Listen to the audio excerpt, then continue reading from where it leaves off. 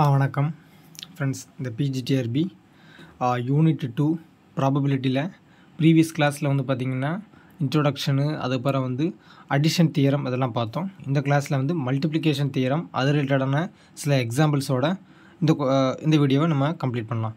சரி ஃபஸ்ட்டு இந்த multiplication theorem பாருங்கள் ஃபஸ்ட் இந்த மல்டிப்ளிகேஷன் தியரத்துக்கான அந்த ஸ்டேட்மெண்ட்லாம் பாருங்கள் it is used in the case of independent events If A and B are independent events, then the probability of their simultaneous or joint occurrence is equal to the product of their probabilities. It is also called compound probability theorem.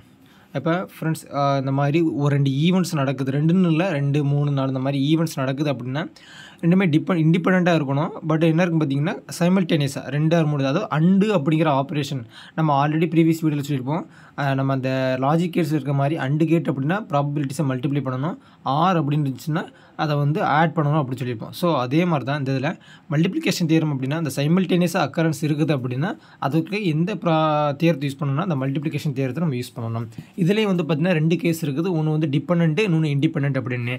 இந்த events வந்து டிபெண்ட்டாக இருந்துச்சு அப்படின்னா அதுக்கு என்ன case அதுக்கு எந்த மாதிரி நம்ம சப்ஸ்டியூட் பண்ணணும்?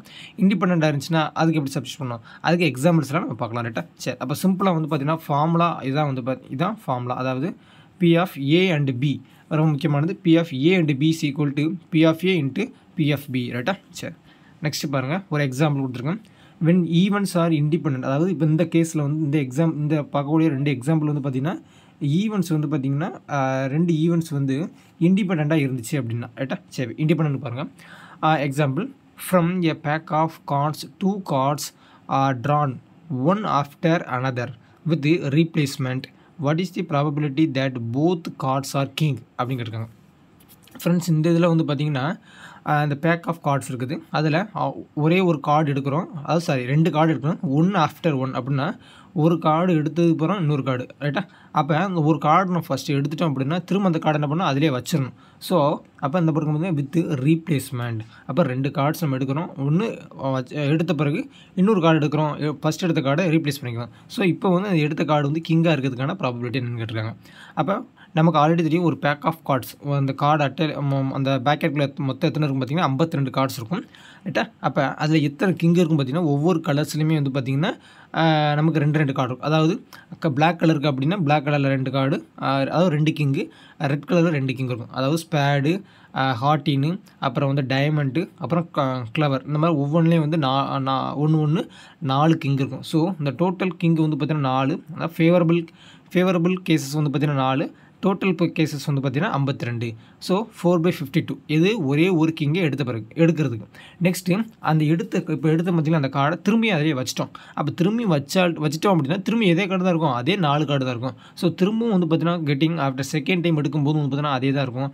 ஸோ திரும்பவும் வந்து பார்த்திங்கன்னா ப்ராபபிலிட்டி வந்து பார்த்தீங்கன்னா ஃபோர் பை ஃபிஃப்டி டூ தான். ஸோ அப்போ அந்த எடுக்கக்கூடிய கார்ட்ஸ் வந்து பார்த்திங்கன்னா டோட்டல் ப்ராபபிலிட்டி வந்து பார்த்திங்கன்னா ஏ அந்த B of A and B அதாவது ஏ அண்ட் பி அதாவது சைமல்டேனியஸ் எடுக்கிறோம் அப்படின்னா அப்போ ஏ அண்ட் பிக்கு வந்து பாருங்கள் ரெண்டுமே மல்டிப்ளை பண்ண வேண்டியதான் ரெண்டுமே மல்டிப்ளை பண்ணி நம்ம சிம்பிளிஃபை பண்ணோம்னா கிடைக்கக்கூடிய ஆன்சர் தான் வந்து பார்த்திங்கன்னா ஒன் பை சிக்ஸ்டி நைன் ரைட்டா ஒன் பை சிக்ஸ்டீன் ரைட்டா இந்த மாதிரி தான் சிம்பிளான கேஸு சரி நெக்ஸ்ட் கொஸ்டின் பாருங்கள் three ships ABC sail from India to Sri Lanka odds odds means இந்த இடத்துல வந்து ப்ராபபிலிட்டி அப்படின்னு அர்த்தம்.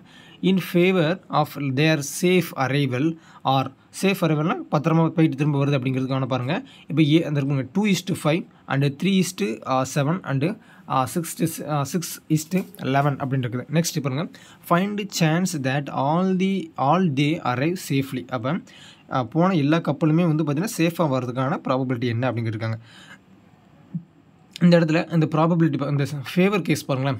ஏழு கப்பல் போச்சு அப்படின்னா ரெண்டு வந்து பார்த்தீங்கன்னா சேஃப் அதாவது அந்த ரெண்டு இஸ்ட்டு ஃபைவ்ல இருக்குது அப்போ அஞ்சு கப்பல் போச்சுன்னா ரெண்டு சேஃப் ஏழு போச்சு அப்படின்னா த்ரீ சேஃப் செவன் போச்சுன்னா சிக்ஸ் இந்த மாதிரி கேஸ் இருக்குது. அப்போ எல்லாமே போச்சு அப்படின்னா அதற்கான இந்த சேஃப் நெட்டி சேஃபாக வர்றது அப்படின்னா அதற்கான ப்ராபபிலிட்டி என்ன அப்படிங்கிறதுக்காங்க. இதற்கான ஆன்சர் பாருங்கள் இப்போ ஃபேவரபிள் கேசஸ் பாருங்களேன். வேரியஸ் சேஃப் அரைவல் இருக்குது அப்போ ஃபஸ்ட் இதுக்கு பார்த்தீங்கன்னா டூ இஸ்ட்டு ஃபைவ் செகண்டுக்கு வந்து three is to seven next பார்த்தீங்கன்னா சிக்ஸ் இஸ்ட்டு லெவன் இருக்குது ரைட் அதாவது ஒவ்வொரு கப்பலுக்கும் ஏபிசின்னு இருக்கலாம். ஒவ்வொரு கப்பலுக்கும் தனித்தனியாக கொடுத்துருக்காங்க ரைட்டா சரி ஃபஸ்ட்டு பாருங்கள் அந்த டூ இஸ்ட்டு அதாவது அந்த ப்ராபபிலிட்டி ஏக்கு வந்து பார்த்திங்கன்னா டூ இஸ்ட்டு ஃபைவ் அதாவது அஞ்சு கப்பல் மொத்தம் ஏழு கப்பல் போச்சு அப்படின்னா அதில் ரெண்டு வந்து நல்லா சக்ஸஸ்ஃபுல்லாக வருது அப்படின்னு கொடுத்துருக்காங்க.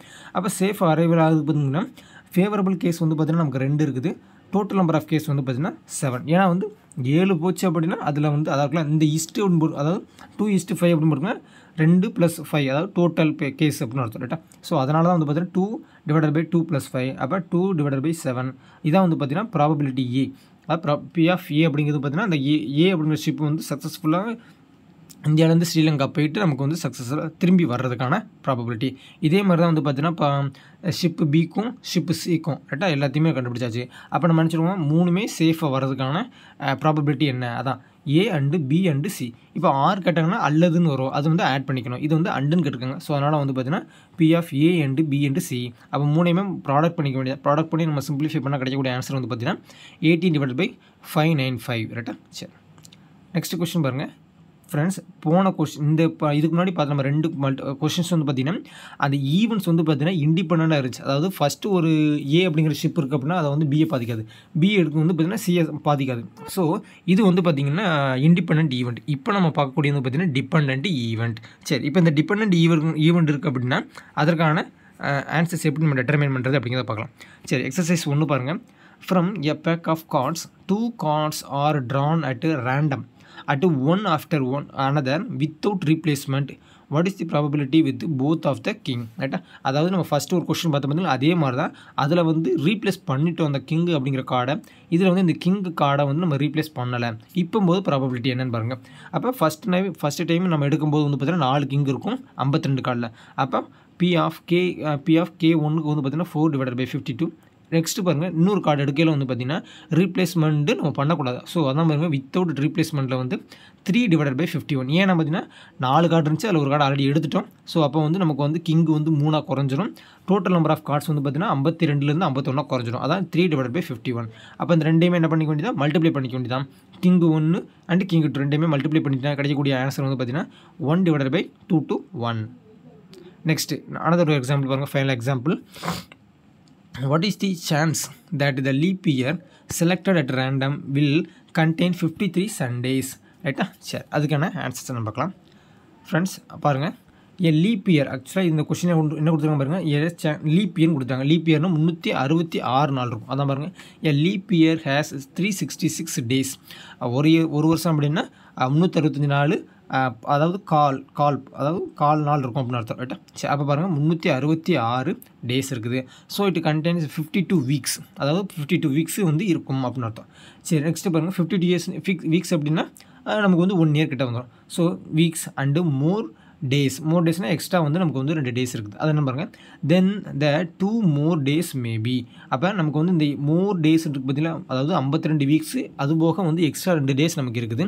அந்த டேஸ் வந்து பார்த்திங்கன்னா என்னவா இருக்குன்னு நமக்கு கொஷினில் கேட்டிருக்காங்க அப்படின்னு பார்த்தீங்கன்னா சண்டேஸ் அப்படின்னு கேட்டிருக்காங்க. சண்டேவாக இருக்கிறதுக்கான டே பாசிபிலிட்டி என்ன அப்படின்னு கேட்டிருக்காங்க. அப்போ நமக்கு வந்து அந்த எக்ஸ்ட்ரா கூட அந்த ரெண்டு டே டூ ரெண்டு டே வந்து பார்த்திங்கன்னா அது காம்பினேஷன் தான் வரும். ஏன்னா இப்போ இன்றைக்கி சண்டேனா அடுத்த நாள் மண்டே தான் வரும். அதுக்கு அடுத்த நாள் வந்து டியூஸ்டே வராது. ஸோ இந்த காம்பினேஷன்லாம் இருக்கும். அப்போ என்னென்ன காம்பினேஷன்ஸ்லாம் வந்து பாசிபிள் பாருங்கள் Sunday Monday Monday Tuesday Tuesday Wednesday Wednesday Thursday Thursday Friday Friday Saturday Saturday Sunday இந்த மாதிரி ஒரு கேசஸ் இருக்குது இதில் நமக்கு என்னங்க சண்டே கிடைக்கும் அப்போ சண்டே மட்டும் பாருங்கள் அப்போ இந்த ஒரு சண்டே இருக்குது இங்கே ஒரு சண்டே இருக்குது. அப்போ ரெண்டே ரெண்டு சண்டே மட்டும்தான் இருக்குது. அப்போ டோட்டல் நம்பர் ஆஃப் பாசிபிலிட்டி வந்து பார்த்திங்கன்னா நமக்கு வந்து டோட்டல் நம்பர் ஆஃப் பாசிபிலிட்டி ஒன்று ரெண்டு மூணு நாலு அஞ்சு ஆறு ஏழு. ஏழு பாசிபிலிட்டி இருக்குது அதான் கீழே வந்து செவன் கொடுத்துருக்கோம். ஆனால் நமக்கு தேவையான ஃபேவரபிள் கேசஸ் வந்து பார்த்திங்கன்னா ரெண்டே ரெண்டு தான். அந்த ரெண்டே ரெண்டு தான் வந்து பார்த்திங்கன்னா இந்த இருக்குது. அதாவது சண்டே மண்டே அண்ட் வந்து Saturday Sunday so total number of அதாவது total number of favourable case வந்து பார்த்தீங்கன்னா two total number of case வந்து செவன் அப்போ டூ பை செவன் அப்படிங்கிறது கரெக்டான ஆன்சர் ரைட்டா ஃப்ரெண்ட்ஸ் இதுலேருந்து சந்தேகம் மறக்காமல் கமெண்ட் பண்ணுங்கள் நெக்ஸ்ட் வீடியோவில் பார்க்கலாம் ரைட்டா தேங்க்யூ